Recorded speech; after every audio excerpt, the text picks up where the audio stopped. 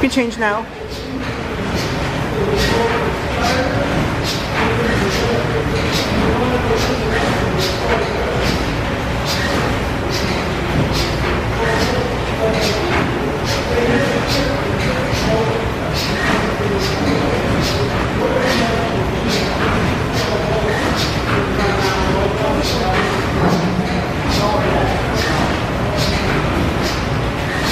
And can you do both?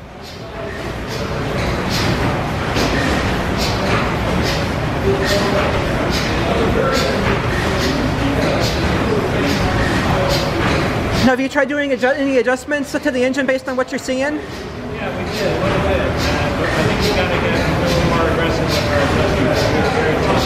we're very limited. Okay.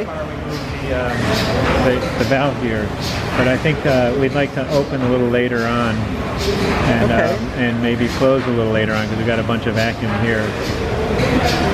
This should this should really come around here and up. Okay. It's funny on both. The site is still complete. What do you mean? Uh, no, it does.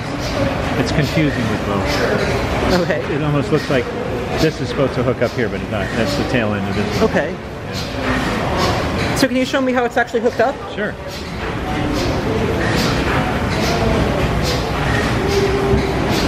It's kind of tricky here. Um, we went into the hole for oiling uh, the the connecting rod. Okay. And so I have to stop every now and then and pump, a- pull this out and pump a bunch of oil in there. Okay. So we're uh, we're talking about ha- having a way to do it from outside while it's running. Um, but in any event, this is the encoder.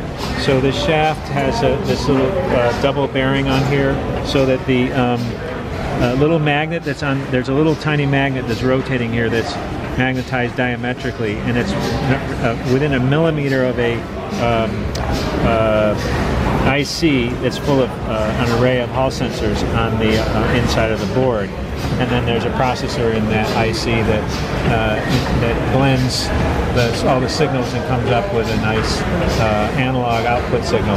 It does digital out as well if you want, but I wanted analog because you get a volt. Every voltage is a unique place on the. Um, so it's, a, it's essentially an absolute uh, encoder. So that goes up here to an Ar- Arduino. Arduino is inside here, which also has two pressure sensors. And so they're running the two pressures off the two ends of the um, of the cylinder, the crank end and the uh, head end. And then, so this guy's job, all his job is, is to sample those three. When it sees that the engine's gone about, uh, I don't know, three or four degrees, it sends up a set of data, and then it keeps sampling, and then sends up through the serial port through this uh, USB cable to the laptop. Um, the plan is to do it all with a Raspberry Pi. You familiar with the Raspberry Pi? Vaguely. Uh, so here's a, here it is. It's a complete computer, HDMI, Ethernet, bunch of uh, USB ports on it, a uh, SD card for the hard drive, uh, and um, it uh, runs Linux.